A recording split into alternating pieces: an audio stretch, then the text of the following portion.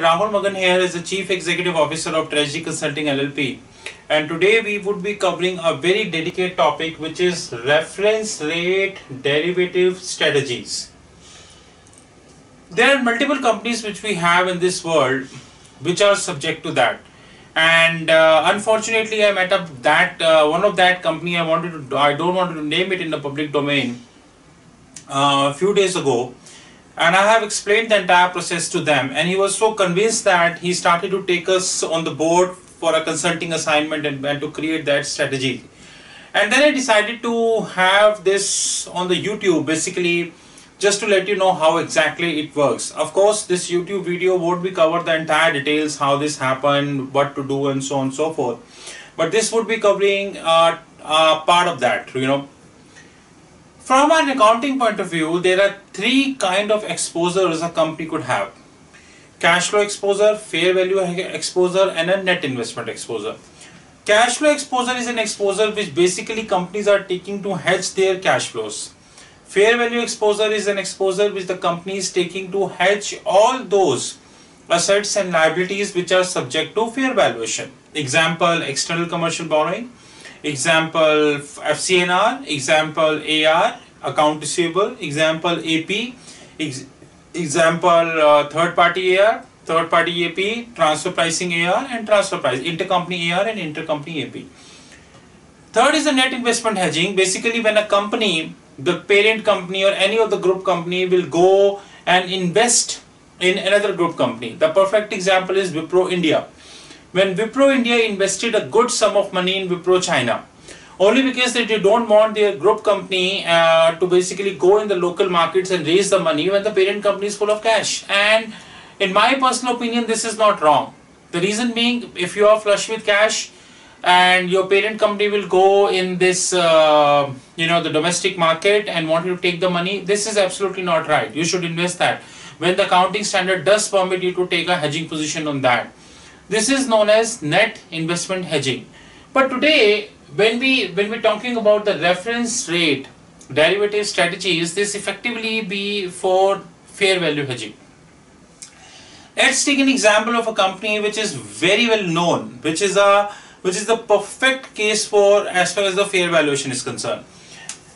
Let's take an example of a company to whom everybody know, a company being founded by Steve Jobs, which is Apple Inc. Apple, Google and Microsoft. Uh, Tesla, uh, Tesla is also joining that list. Amazon is also joining that list, but for a while. Let's take an, let's stick to an example with Apple. Apple is a company which is practically everywhere in this world. Apart from the two countries where practically business could not happen, cannot happen. Apple is everywhere in this world. Apple India is there, Apple London, Apple Sweden, Apple Swiss, Apple Germany, Apple Russia, they are everywhere.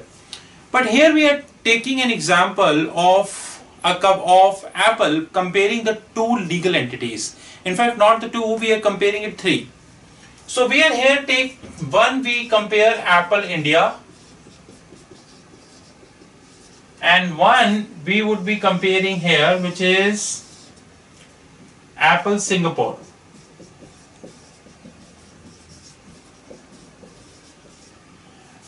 Apple is is a technological brand. iPhone now i now for iPhone X and Mac Air and so many things which they are selling. Now Apple India is having Apple India is full of exports.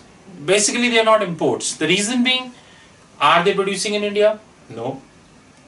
From where from where they are selling it? They are basically selling on behalf of Apple US they are not selling on behalf they they are not producing in india.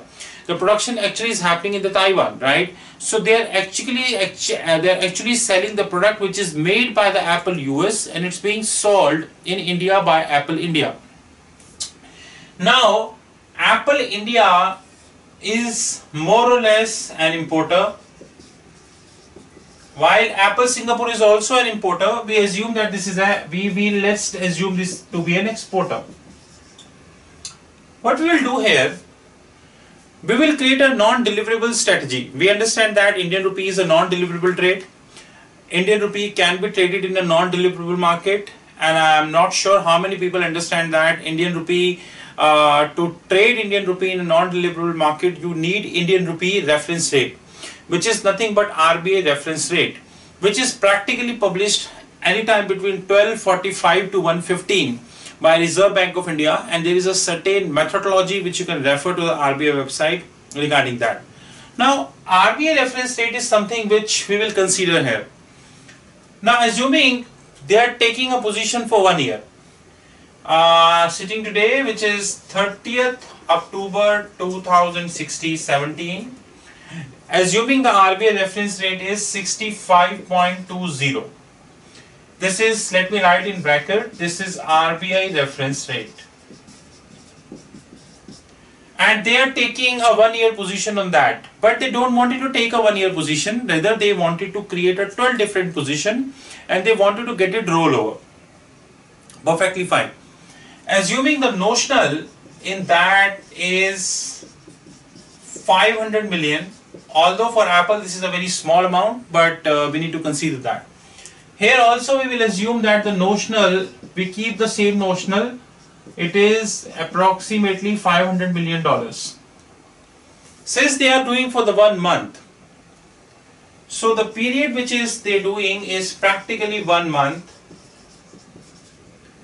To do the reference rate derivative strategy, one important thing, in fact, two important things which you have to understand very carefully. Number one, uh, number one, this relevant party should have one foreign subsidiary in place. Here we are taking an example of Apple Singapore because Singapore is nothing but a financial hub. It's not a financial hub, rather it's a financial world in itself. It's a GTC, Global Treasury Center. You just name it and you will get it. This is what Singapore is all about. Secondly, on both the sides, the bank has to be same.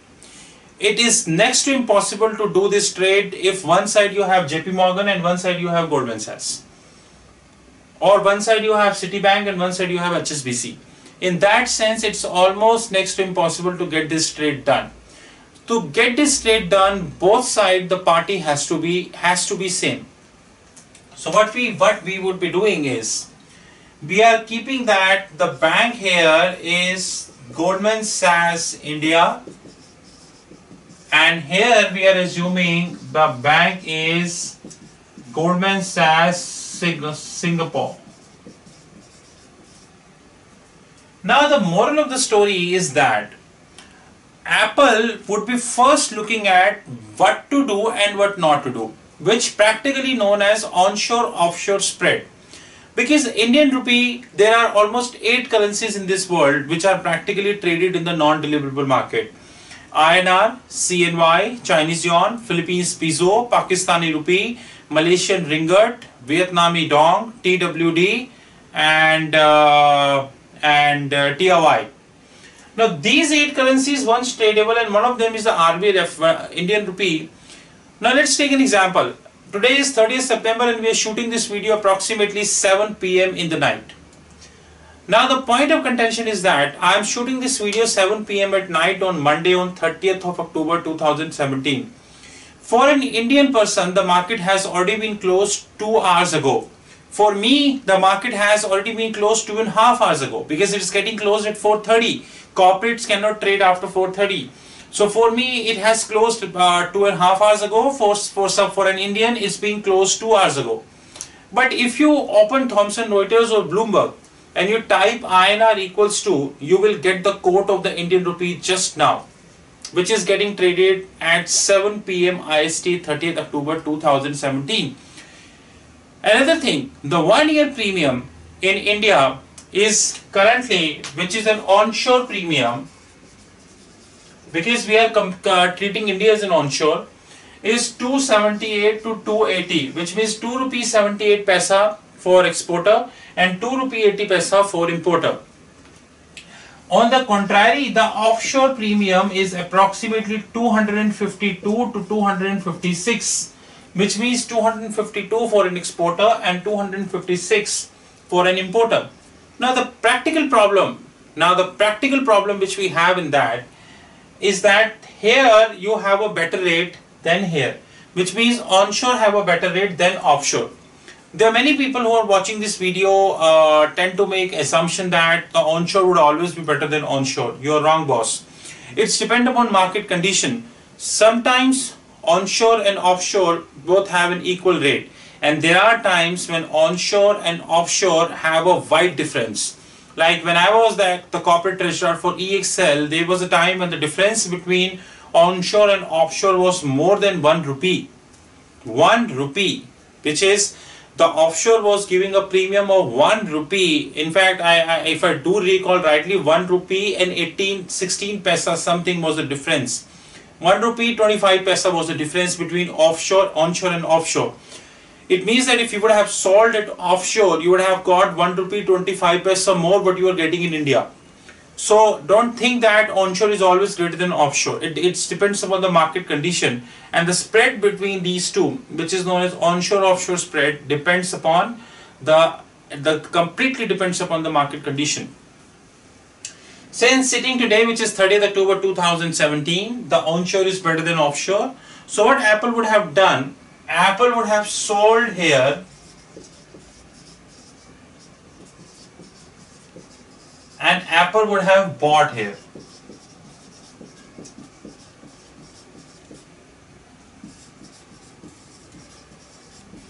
But the biggest problem is that the catalyst between both has to be same else this trade will never work and we should not forget that this trade is actually a rolling trade for 12 months. So what we would be doing, we are going to ask our bank which is Goldman Sachs because both sides the bank has to be same we're going to ask our bank Goldman Sachs to keep it to keep the reference rate same. So the outright OR which is always spot plus premium is equals to RBI reference rate plus premium. And here also the outright would be the same. In Singapore also outright would be the same so in India once we are selling, the outright would be 65.20 plus 2 rupees 78 paisa, which is 67.98. On the contrary, if you look at here in Singapore, the outright would be 65.20 plus 2 rupee 52 paisa, which is equals to 67.72 it means that there, there, there is a spread which we refer as a delta of 27 paisa here. Now after one month, because the actual contract they wanted to take for one year, they should not take for one year due to some reason which is a revaluation reason because if you take for one year then the contract will mature after one year but 12 times revaluation would have happened and this would eat away your profits this is a little technical and this is a little something which we uh, which if you want you can you can call us. We will explain explain you but uh, we, uh, we, will, we, we will explain you. Now after one month you take any RBI reference rate because the non-deliverable trades are always settled at RBI reference rate. Since it's an apple and both sides we were having the same bank Goldman Sachs. So you take any RBI reference rate. Let's take it 65 you have here sold at 67.98 and RBI reference rate turns out to be 65. It means that you have got a gain of 2 rupee 98 paisa. I am writing G here. And here after one month you have bought. Let me write here. This is sold position and this is bought position. Since you bought at 67.72 and market was at 60 not market RBI reference rate for was at 65 so you would have a loss which I'm writing minus 2 rupee and 72 paisa. The net gain in the books of Apple once they will consolidate would be equals to 27 paisa. And this is how the reference rate derivative strategies are possible. The only difference in this state would be this gain would be notional while this loss would be real. And next month, next month they are going to roll over the same. They can increase this amount to, of 500 billion to 600 million or they can decrease this 600 500 billion to 400 million. So basically this is not a cancellation this is a rollover and what is rollover cancellation plus the fresh booking? So once they roll over the fresh RBI reference rate would kept which is 65 plus we will look at the premium. But once we roll over we will take that into cognizance that boss uh, how is the onshore offshore spread going going? So here once we originally did it offshore was better than onshore. Once we are going to roll over we need to see that whether this situation stands true or not the problem not the problem the one accounting thing which you have to consider in this book in in, in this example is that let me draw a, uh, a table here I'm writing here legal entity. I'm writing reval. Reval stands for revaluation. And I am writing here the gain and loss. So Apple India would be facing a revaluation because the functional currency was INR, the contract is in dollar. Apple Sing would be facing revaluation. The functional currency was in Singapore dollar, the contract taken is uh, uh, functional currency was Singapore dollar, the contract taken is dollar. The gain and loss in Apple India is notional, on the other hand, it is real. But once we consolidate, let us impact the balance sheet, it will the, the cash position. The, the let me write uh, another column here which is balance sheet, and let me write another which is P&L the cash position is not going to be hit here while the cash position is going to be hit here. In case of PNL, it's going to be hit here and it's going to be hit here. So consolidation wise, the things would be wonderful. Companies like Apple, Microsoft, Facebook, Google, Accenture, Sapient, Cognizant, Genpact, all these companies are doing such kind of strategies because they have a position in India and also across the globe. Let's take an example of an Amazon. What do you think? Amazon is whatever Amazon is selling, cup, pen, pencil, anything, whatever Amazon is selling, with due respect, the largest e-commerce company of this globe, is Amazon is producing everything or are they not importing? They are. And what do you think? Are they importing everything from India? Are they buying everything from India? is Amazon India who is selling a lot of things like big big big big Diwali sales and uh, yearly end sales and so many things which they are doing. Are they importing everything from India? Or they are importing from some other country and selling to India? They are. They are actually importing from some, some other country and selling to India. How they are going to do that? Because the import is in some other currency while the functional currency of Amazon India is in is in, is in, is in Indian rupee. On the other hand, on the other hand, the importing party, on the other hand, the contract signing party would be a different entity. Amazon, Facebook, Microsoft, Google, you know, all Yahoo, Accenture, Sapient, Cognizant, all these companies are doing such kind of strategies. Henceforth, they are known as reference rate derivative strategies. There are multiple things which we which we can discuss, but uh, time does uh, does not permit us. So you have our number if you want to discuss. Our website is www.treasuryconsulting.in. Our mobile is 9899242978 while my email is rahul.magan at the rate treasuryconsulting.in. Before winding up this video, I would like to tell you that our fixed income platform is just around the corner and we are here to produce the world first integrated fixed income platform. No bank, no financial institution, no non-banking financial corporation, no entity have any proprietary right on that fixed income platform. It is a product of Treasury Consulting LLP which going to get developed in nine different phases and the first phase would be happening in November 2017. We would like to thank you very much for give us a support on the YouTube we are turning out to be very big on the YouTube and you are watching the second largest YouTube channel which is expecting at least 1000 videos by December 2018 and by the time we will wind up this year which is December 17 we would approximately be equals to 500 or 525 any number uh, between that.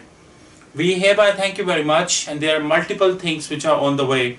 And don't forget our fixed income KPO is also round the corner. 20 days to go. Thank you and have a wonderful time ahead